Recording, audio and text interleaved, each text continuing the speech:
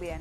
Bueno, comenzamos hablando de una noticia que hace dos semanas que estamos tratando y se refiere a la estatización de la empresa IPF. Hoy podría ser ley, ya tuvo media ascensión la semana pasada en senadores. Hoy, a eso de las 10 de la noche, se prevé podría convertirse en ley. Comenzó el último debate hoy a las 10 de la mañana. Pudimos hablar con dos senadores, con Carlos Heller y con Francisco de Narváez. Esto dijeron.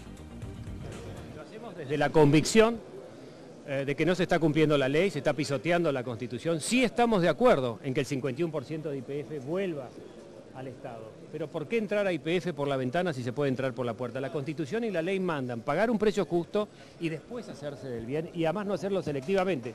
No hay ninguna razón por la cual el grupo Eskenazi no sea expropiado. Hay 18 diputados que votamos por el no y 3 diputados van a votar por el sí.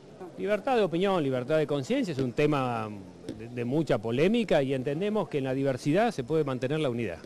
A mí me preocupa que el Estado argentino que retoma el control de un área clave como es el de una empresa como YPF, eh, elija con acierto las asociaciones que realicen adelante, eh, que tengan que ver con que en ningún caso eh, limite su capacidad autónoma de decisión.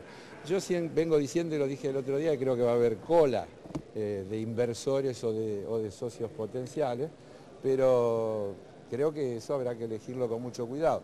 Si yo tuviera que privilegiar, me encantaría eh, ver que camina una alianza estratégica con las otras petroleras de, la región, de la UNASUR.